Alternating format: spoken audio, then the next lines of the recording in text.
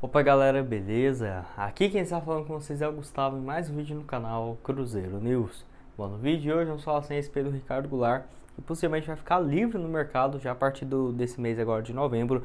Será que o Cruzeiro mesmo com o clube empresa teria condições de trazer o jogador? E se, por exemplo, seria viável né, essa vinda, se, se, se ele aceitasse, por exemplo, voltar aqui para Raposa. Queria falar também sobre um jogador da base do Cruzeiro que está tendo muito destaque e que tem chance de rescindir o contrato com a Raposa. Será que isso poderia é, acontecer? Isso por conta de salários atrasados.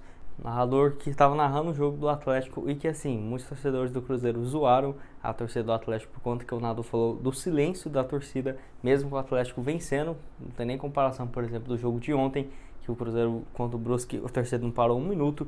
E também queria falar sobre o Wellington, ex-jogador do Cruzeiro, que acabou zoando a Raposa e não pegou nada bem com a torcida, que ocorreu esse episódio no último final de semana, tá? Mas antes de começarmos, aproveite para deixar seu like e também se inscrever no canal para continuar recebendo mais conteúdos como esse. É, caso você ainda não seja inscrito, aproveite aqui para ajudar nós a chegar a essa marca de 28 mil inscritos com a ajuda de vocês. Passamos essa marca de 27 mil inscritos e 900. Falta menos de 40 para chegar nessa marca, então caso você não seja inscrito, aproveite para se inscrever que sem dúvidas vai me ajudar demais, tá? O salve de hoje é para duas pessoas, o primeiro é para o Kaique, ele que é lá de... É Almenara, Minas Gerais. Valeu demais, Kaique. Um abraço para você. O outro é para o Júnior Santos, ele que é lá de é, Minas Novas, Minas Gerais. Valeu demais, o Júnior. Um abraço também. Então, caso você queira aparecer aqui no vídeo de amanhã, vai sair por volta das 11h30, 11h40. Já deixa aqui embaixo nos comentários o seu nome, de onde você é. Quem sabe você também não aparece aqui no canal.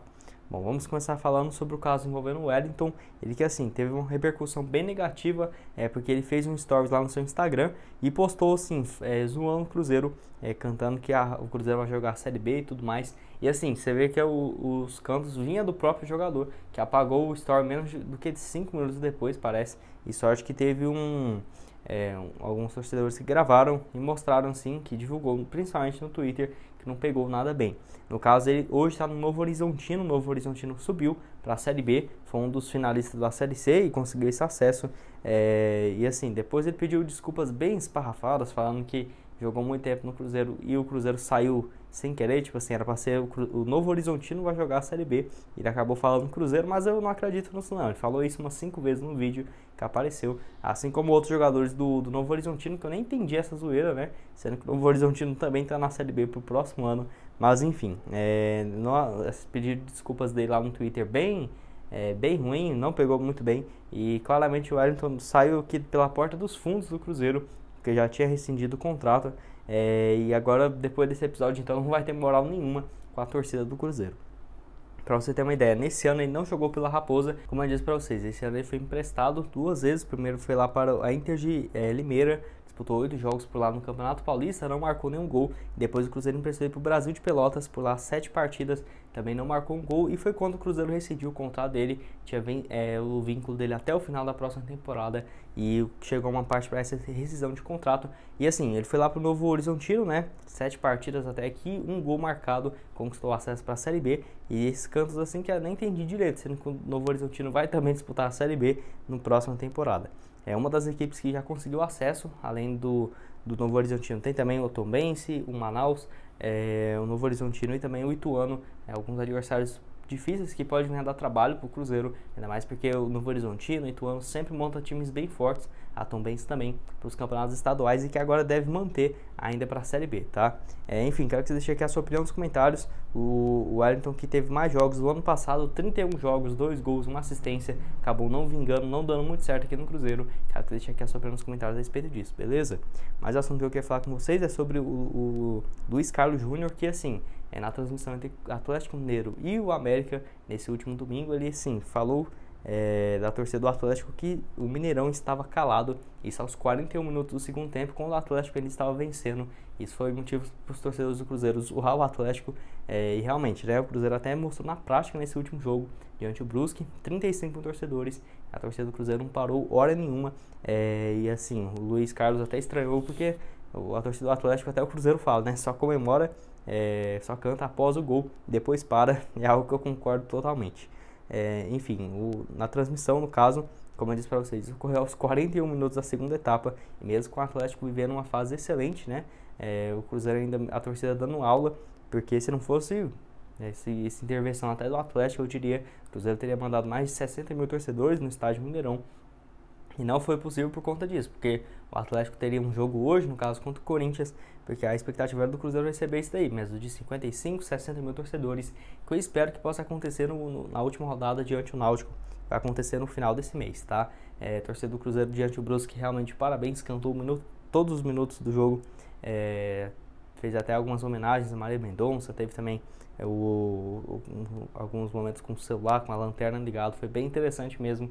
E um jogo que não valia absolutamente nada para o Cruzeiro, né? É, vencendo, permanecendo na Série B, que é um fracasso gigantesco por parte da diretoria, mas a, torcida do Cruzeiro extremamente apaixonada e espero ver mais de 60 mil torcedores no estádio ainda nesse ano diante do Náutico, que eu acho que o torcedor do Cruzeiro tem certeza que vai lutar mais um jogo, tá? Enfim, quero que deixe aqui a sua opinião nos comentários a respeito disso. É, se você ficou sabendo desse episódio envolvendo o, torcedor do Atlético e o narrador do Premier que perguntou, né, falou que o Mineirão estava calado no jogo diante do Atlético contra o América. Penúltimo assunto desse vídeo é a respeito do Adriano, que assim, o seu empresário estava respondendo algumas perguntas é, nos stories e tudo mais. E assim, foi perguntado a respeito do Adriano e depois disso falou que tem, o Cruzeiro tem algumas pendências com o jogador. É, ele foi entrevistado assim pelo Super Esportes, pelo Globo Esporte. Trouxe aqui alguns trechos importantes do Super Esportes, matéria publicada já na tarde dessa última quarta-feira, tá? É, no caso, assim, parte do pagamento de salários e depósito do FGTS, além de férias, que o Cruzeiro deve para o Adriano e também desde março desse ano, até me surpreendeu, ele tem recebido apenas 30% do salário. E olha que o Adriano nem tem um salário tão alto assim, não sabemos exatamente, né? Mas ele recebe bem menos do que o teto de 150 mil, diria que até menos do que 100 mil por mês. É, e o Cruzeiro pagando apenas 30%, achei bem, bem estranho mesmo. É, ele enviou um e-mail para o clube já nessa, nessa última terça-feira é, e o atleta diz que recebe, que espera receber esses valores restantes sob pena de rescisão indireta de contrato de trabalho. Então ele não entrou na justiça, mesmo se ele quisesse ele entrava na justiça e ganhava, mas assim ele ainda dando uma chance para o Cruzeiro negociar e que espero eu que pague né, esses 30% restantes, é, esse resto, né, porque o Cruzeiro deve férias, FGTS, salário e tem pago desde março apenas 30% dos vencimentos. No caso, até a reportagem do Super Esportes tentou apurar qual que é o valor que o Cruzeiro deve para o Adriano, mas não foi é, estipulado até esse momento. Eu acho que uma hora ou outra vai acabar vazando e espero que o Cruzeiro chegue a um acordo mais rápido ainda com o jogador, que inclusive já foi é, sondado, especulado no Bragantino, não teve proposta oficial, mas é um cara que tem muito mercado mesmo, ainda mais depois dessa excelente temporada aqui pelo Cruzeiro. 41 jogos, um gol e duas assistências, tá muito bem. E até o empresário dele falou que o plano do jogador é continuar aqui no Cruzeiro, inclusive ter uma renovação, um aumento salarial e também a renovação de contrato, já que ele tem vínculo só até o final do ano que vem. Espero que já no início desse ano o Cruzeiro não dê bobeira e renove, né, com o Adriano, porque é um cara que tem um valor de mercado gigante e que vai ajudar muito a equipe para a próxima temporada. Enfim, quero que você deixe aqui a sua opinião nos comentários a respeito do Adriano, é, que até você pode estrear no próximo jogo que ele não vai jogar, mas não tem nada a ver por conta dessa questão de salário é, atrasado e tudo mais com pendência do jogador, porque ele foi suspenso, tomou um terceiro cartão amarelo nesse jogo diante do Brusque, no caso ontem, e não vai jogar diante do Vitória, só retornando assim os jogos contra o Sampaio Correia fora de casa e o Náutico no Mineirão, tá? E o último assunto desse vídeo é a respeito assim do Ricardo Goulart, que eu já tenho trago informações dele aqui para vocês é, nesse último mês de, de setembro, de outubro, e agora em novembro foi confirmado que ele está muito perto de rescindir seu contrato é, com o Guangzhou Evergrande lá da China e informação exclusiva lá do Globoesporte.com. No caso, o jogador tem 30 anos de idade e de acordo com a matéria, a intenção dele é retornar aqui ao futebol brasileiro, não está descartado assim é, qual time que ele vai jogar, sendo que o último time que ele passou por aqui foi no Palmeiras, lá em 2019, que ainda eu diria que ele tem muito espaço por lá, então poderia ser um dos prováveis destinos, o mais provável eu diria, é, se ele jogar por lá. No caso, o empresário dele é o Paulo Pitombeira, ele acredita que o Ricardo Goulart vai fazer a mesma coisa que o, que o Roger Guedes, que fez para rescisão de contrato com o time dele lá da China, é, que chegou a algum acordo para ter um pagamento de parte desses vencimentos e não foi um processo muito rápido, não, tá? Foi mais do que um mês e meio para essa resolução. É, e não se sabe se o Ricardo Goulart vai ficar livre daqui duas semanas ou daqui só, sei lá, início da próxima temporada. É, que aí sim que os clubes brasileiros teriam interesse em contratá-lo, porque agora ele não poderia jogar mais nenhuma competição. É, o Ricardo Goulart é um dos jogadores mais vitoriosos da China desde quando, na história do futebol chinês. Ele foi vendido pelo Cruzeiro é ao Guangzhou. Ele ficou lá de 2015 é, até agora foram seis temporadas, 171 jogos e marcou 111 gols nesse período. Inclusive se naturalizou chinês e pode jogar. Tem grande chance, mesmo jogando aqui no Brasil, ser convocado é, para jogos ainda das eliminatórias lá da China e se a China classificar, eventualmente jogando uma Copa do Mundo. Ele tinha contrato com o Guangzhou até o final de 2023, que até eu falava aqui para vocês, que tem muita chance, por exemplo, dele terminar até o contrato dele em 2023, né? É, e aí sim vir para o Cruzeiro na temporada de 2024, mas acabar antecipando, mas a chance dele voltar para o Cruzeiro só se assim, Cruzeiro com um clube empresa bem estabilizado mesmo, mas eu não acho que compensaria, ia sair muito fora do planejamento do Cruzeiro, pagar um salário altíssimo para ele, igual no Palmeiras ele recebia quase 2 milhões, 1 milhão e meio, já acho um salário totalmente absurdo, é, eu não vejo o Cruzeiro, não acho certo, inclusive primeiro ano de clube empresa já fazer alguma conotação desse tipo, não sei se vocês concordam, só se o Cruzeiro tivesse numa situação bem confortável mesmo, que não vamos saber logo de cara com o clube empresa, mas pelo que eu já vejo assim, a cautela que o clube vai ter em relação a grandes contratações, não acho que seria interessante já ir pagando de cara um milhão, um milhão e meio pro, Ricardo Goulart, mesmo na Série B, que eu acho que ele não teria tanto interesse assim de jogar, mesmo contra times igual o Palmeiras, que sem dúvidas vai especular o jogador, ainda mais que eu vejo que é 90% de chance dele ir para lá, porque Leila Pereira vai estar lá para a próxima temporada e tem interesse na conotação do Ricardo Goulart. Quero que você deixe aqui a sua opinião nos comentários a respeito disso, tá? E só queria recapitular que ele não, não faz uma temporada excelente desde 2018, para você ter uma noção.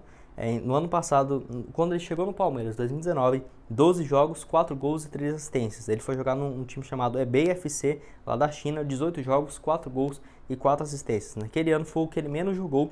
Ano passado, de 2020, ele jogou apenas 4 jogos, teve uma lesão e o Guangzhou foram apenas quatro partidas por lá por conta da pandemia também, tudo paralisado. Nesse ano de 2021, 13 partidas, 7 gols e duas, duas assistências, inclusive no penúltimo jogo do Guangzhou ele marcou dois gols e está retomando a, a boa fase por agora. Porque para você ter uma ideia, em 2014 pelo Cruzeiro ele marcou 20 gols, primeiro ano lá na China marcou 27, no segundo 29, no terceiro 27, no quarto ano em 2018 21 gols. Você vê que ele tinha uma média assim excelente de gols marcados e como eu falei para vocês, desde 2018 ele não marca mais do que, por exemplo, 8 gols por temporada, é, que foi quando ele marcou 21 gols naquele ano. Enfim, quero que você deixe aqui a sua opinião nos comentários. Você acha que é um cara viável? Se você não acha, se você concorda ou discorda comigo, você acha que aí o Cruzeiro, já com a empresa no ano que vem, é, poderia pagar um valor absurdo para o jogador? Deixa aqui a sua opinião nos comentários. Ah, e só lembrando que o Cruzeiro vai virar clube empresa lá para o mês de março e o Ricardo Goulart possivelmente em janeiro já vai estar livre com, por exemplo, outras equipes que foi interessadas em contratar ele é, já disputando assim, um, o início do campeonato estadual, então isso poderia ser mais um fator empecilho para ele chegar aqui no Cruzeiro, tá? Bom, esse foi o vídeo, espero que tenham gostado. Não esqueça de deixar seu like e também se inscrever no canal para continuar recebendo mais conteúdos como esse. Aqui na tela final agora eu vou deixar duas sugestões de vídeo para vocês. Recomendo vocês darem uma olhada, tá? Muito obrigado a todos por terem assistido até aqui e até mais. Valeu!